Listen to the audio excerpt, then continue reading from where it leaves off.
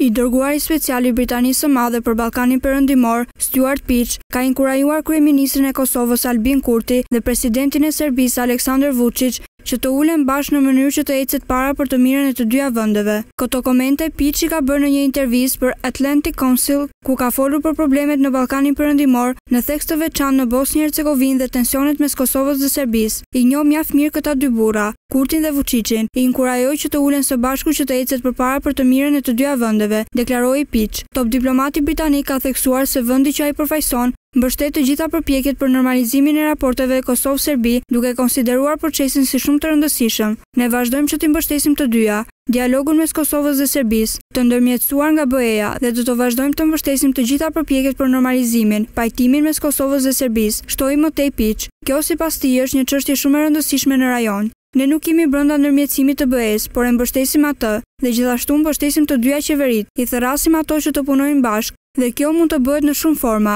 dhe unë përfshij në të, natyrisht, punën së bashku për një të ardhme multietnike, si për Kosovën ashtu edhe për Serbinë, potencoi Peach. E rëndësishme për momentin, sipas tij, është fakti që procesi i dialogut mes Kosovës dhe Serbisë është duke vazhduar. Ne duhet ta inkurajojmë dhe të lejojmë që ky proces të vazhdojë, pohoi Peach. Teksa sa i përket themelimit të Asociacionit të komunave me shumicë serbe, Tha se të dyja palët duhet t'i respektojnë marrëveshjet e arritura, duhet të ecet përpara drejt normalizimit. Është shumë e rëndësishme për të ardhmen e rajonit, theksoi diplomati. Sa i përket përsëritjes së sulmit terrorist në Banjskë, diplomati britanik ka thënë se, Jo, nuk kam frikë, se mund të ketë një skenar të ngjashëm.